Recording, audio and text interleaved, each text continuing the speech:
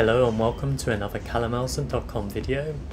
This time we're on board for something a little less exciting. It's Lufthansa's European business class on the beginning of my journey to Bangkok. This journey will take me to Brussels where I'll meet my Thai Airways flight. You join me at 5 in the morning at Stockholm's Arlanda airport in Sweden, home to ridiculous queues to get through security. This video was taken back in July 2022 when issues with labour shortages meant that almost every airport in Europe was affected. I checked my baggage in the night before to save some queuing but had an issue with my onward boarding pass, which I'll share in my next video about Thai.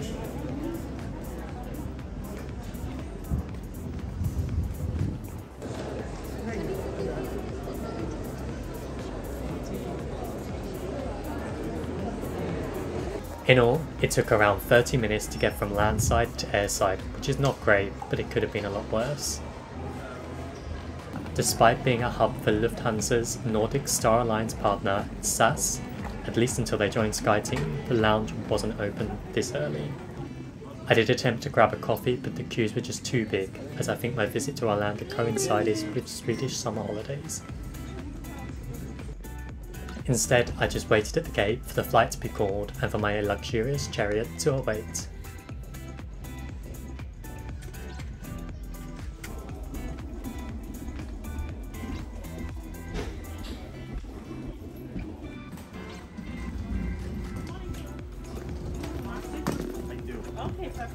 Of course, that chariot did not appear and we retreated to regular European business class, just like economy, except with an empty middle seat.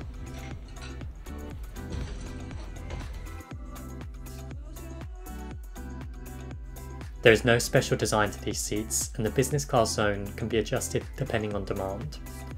In front of you is a literature pocket and a tray table, just like economy class, but the only included entertainment, your window.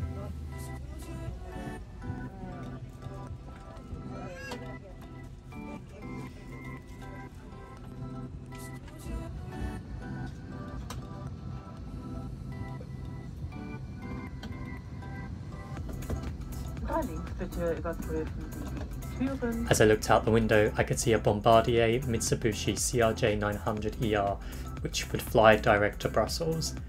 I'd much rather have taken this route, but it added several hundred euros over the indirect routing via Frankfurt.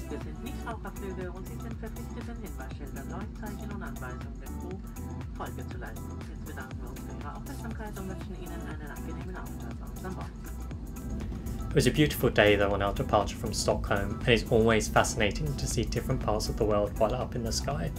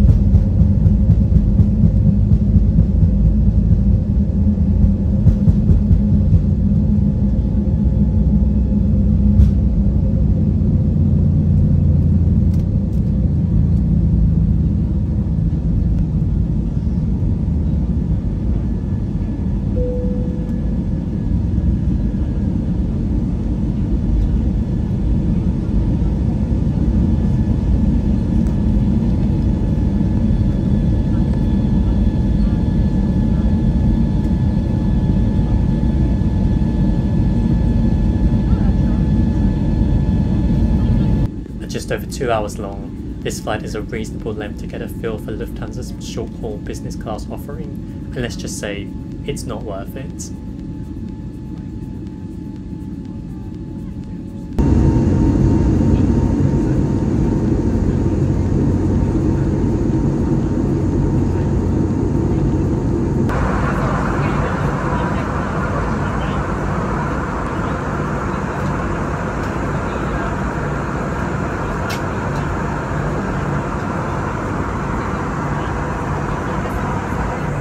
Received a printed menu displaying the one item available to eat for breakfast.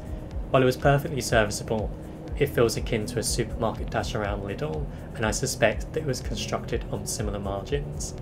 This was followed by water and coffee, both in nice serviceware, but the latter was poorly brewed. A lot of people will complain about British Airways, but I've easily had far better offerings from them on shorter flights. I did manage to get some good shots of this apple and small chocolate though, which of course made up for all of the shortcomings. And with that, we came into land at Frankfurt with an interesting parallel view of another Lufthansa aircraft, which always fascinates me.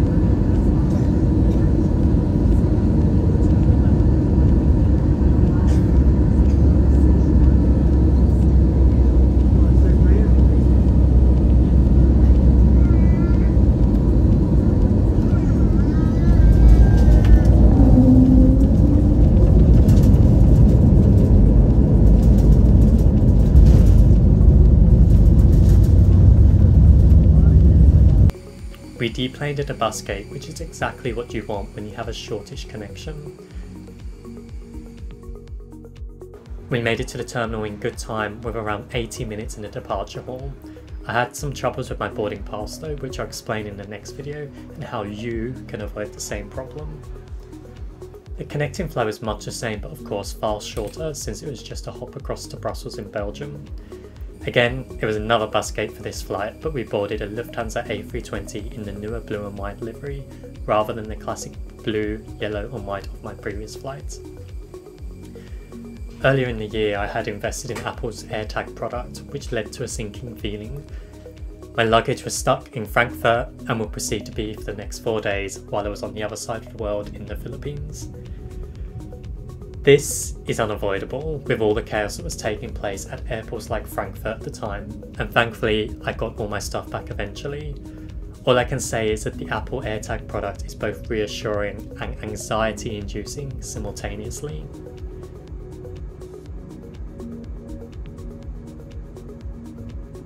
The flight flew by, but I was left with a less than impressive opinion of Europe's largest airline group. The offering is very bare bones and excels nowhere. There'd be few instances where I'd opt for business over economy on Lufthansa's European routes again, only if it was included on a connection to long haul, like I did in this example. My verdict? Don't bother trying it for yourself, you will be distinctly unimpressed. What did you think of Lufthansa's European business class? Be sure to drop a comment down below and subscribe to see the much more interesting, exciting connecting flight from Brussels to Bangkok on Thai Airways, which is extremely disappointing, but one that you won't want to miss. Catch you next time. Bye bye.